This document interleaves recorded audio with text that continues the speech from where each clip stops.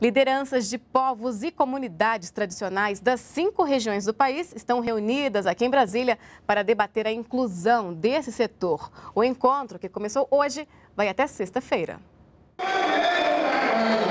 Antes da abertura oficial, representantes das 26 comunidades que participam do encontro deram as boas-vindas, mostrando um pouco de sua cultura.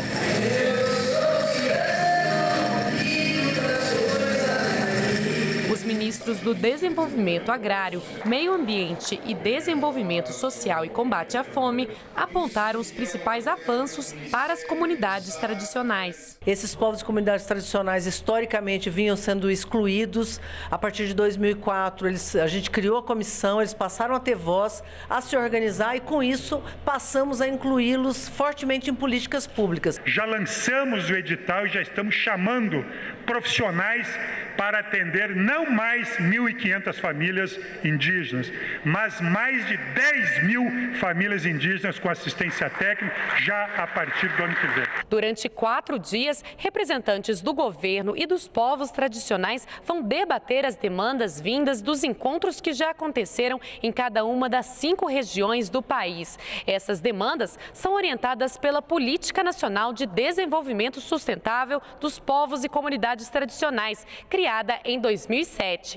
A política orienta ações em quatro eixos: o acesso ao território e recursos naturais para viver e produzir, infraestrutura, como construções de postos de saúde, escolas e garantia de luz elétrica, inclusão social, com acesso a programas do governo de distribuição de renda, e investimento para a produção, como as linhas de crédito agrícola facilitada.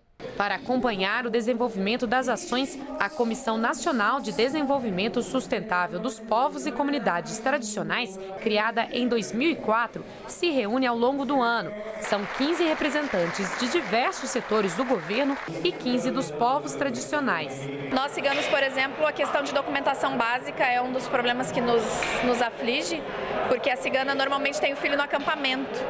E como é que registra essa criança, se a mãe já não tem certidão de nascimento? Que a gente tenha condições de acessar recursos para incentivar né, que o nosso jovem fique no campo, a questão da língua que seja colocada no currículo das escolas. Tem muitos segmentos que não têm garantia de direitos na Constituição de 88.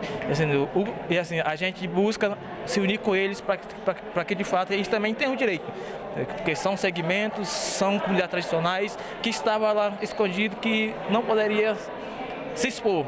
A nossa expectativa é o melhor possível, que mude mais as, as condições nossas e que valorize e empodere mais nossos direitos e deveres, né?